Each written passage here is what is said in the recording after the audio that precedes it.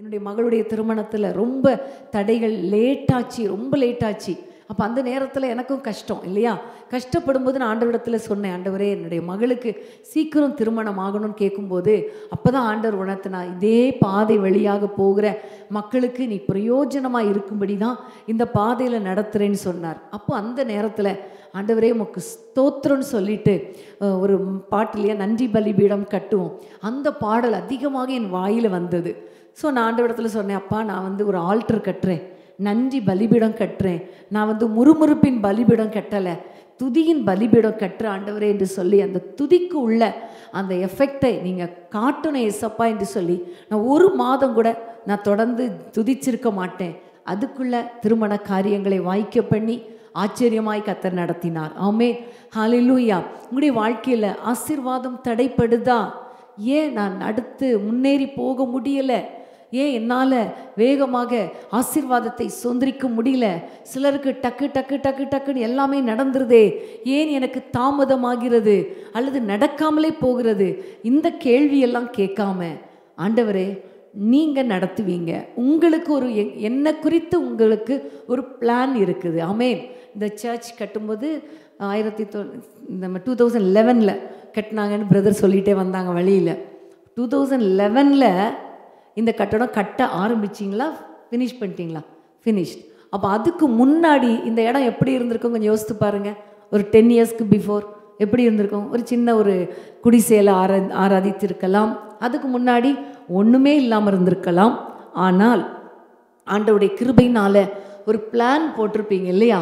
அந்த பிளான் போடும் பொழுதே பிளான் போட்டவங்களுக்கும் பிளானை வரைந்தவங்களுக்கு மாத்திரமல்ல அதை பெற்றுக்கொண்ட உங்களுக்கும் மனதளவில் ஒரு வரைபடம் இருந்திருக்கும்.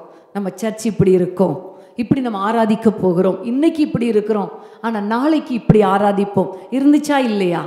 இருந்தது. ஆமேன். ஒரு வீடு வாங்குவதற்கு முன்பாக அல்லது கட்டுவதற்கு முன்பாக ஒரு பிளான் மாஸ்டர் பிளான் இருக்கும். அந்த பிளான் நம்ம அதை முடிக்கிற வரைக்கும் அந்த இடம் வீடு கட்டும்போது பார்த்தீங்கன்னா கல் கிடக்கும் சிமெண்ட் கிடக்கும் ஜல்லி கிடக்கும். நடந்தால் தடுக்கி விழுவோம். எத்தனையோ முறை எங்கள் வீடு கூட கட்டிகிட்டு இருக்கோம். முடிய போது. அப்போ நிறைய முறை நான் உள்ளே போய் விழுந்திருக்கேன். நிறைய முறை கீழே விழுவேன். அப்போல்லாம் நான் நினைப்பேன் ஏசப்பா இப்போ விழுறேன்.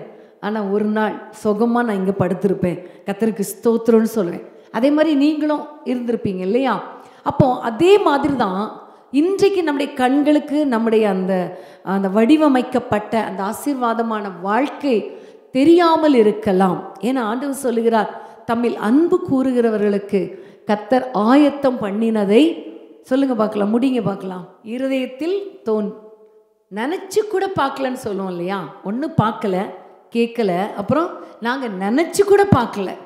அந்த அளவுக்கு கத்தர் உங்களை கொண்டு ஒரு பெரிய உங்களை குறித்து ஒரு பெரிய பிளான் வைத்திருக்கிறார்.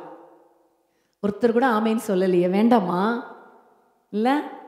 அதாவது ஒரு செய்தி வரும்பொழுது ஒரு வார்த்தை வரும்பொழுது இது எனக்கு தான் எஸ்அப்பா இல்லை நீங்கள் அப்படியே தூங்கிட்டு இருக்கீங்களா இல்லை மெய் மறந்து உட்கார்ந்துட்டு இருக்கீங்களா எனக்கு தெரியலை. ஆனால் ரிசீவ் பண்ணணும். ஆமாம் எனக்கும் ஆண்டவர் ஆயத்தப்படுத்தி வைத்திருக்கிறார். இன்றைக்கி என் கண்கள் பார்க்கலை. இன்றைக்கி பார்க்குறதெல்லாம் சரியில்லை. தடைகள் போராட்டங்கள் டிலேஸ் அப்புறம் ஒரே டிஸ்டர்பன்சஸ் இல்லையா? இன்னைக்கு எல்லாமே இப்படி தான் இருக்குது கண்ணீர் கவலை என் பிள்ளைகளுடைய எதிர்காலம் எப்படி இருக்குமோ தெரியாது தெரியலை. யோசித்து யோசித்து பார்த்தா கூட தெரியல. ஜெபிச்சு ஜெபிச்சு பார்த்தா கூட தெரியலை. விட்டுருங்க.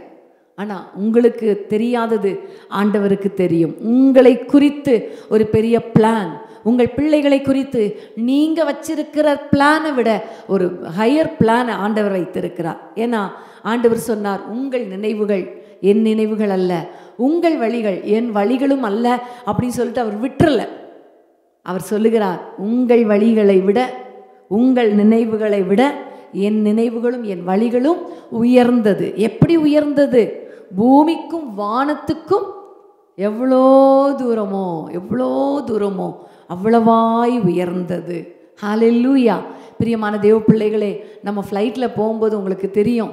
மேலே இங்கேருந்து பார்க்கும்போது கட்டடம்லாம் பெருசாக தெரியும்.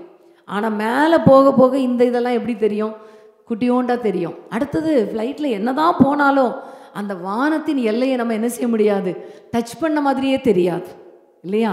அதே மாதிரி தான் இன்றைக்கு உங்களுடைய பிரச்சனைகள் உங்கள் கண்களுக்கு பெருசாக தெரியலாம். ஆனால் ஆண்டவருடைய பார்வையில் எல்லாமே குட்டி குட்டியாக இருக்கும்.